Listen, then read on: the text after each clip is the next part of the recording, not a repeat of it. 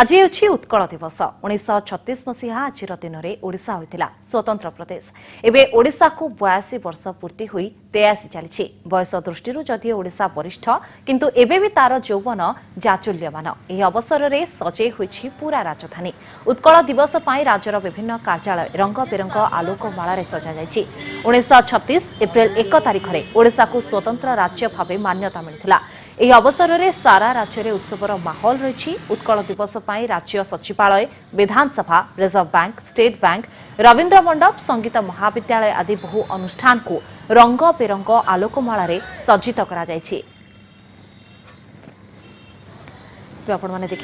सचिवालय चाहिँ भावना रङबे आलो एवं केवल सचिवालय नुह विसभा संगीत महाविद्यालय रवींद्र मंडप बड़ बड़ जो रहिछि कार्यालय से ताकु सब रंग बेर आलुओं सजा जाए चित्र आपने देखिपार आज जेहतु उत्कल दिवस रही बयासी वर्ष पूर्ची ओडा को और तेयासी वर्ष में पदार्पण करा हुए तो यह दृष्टि वरिष्ठ बोली कहशा को कितु बर्तमान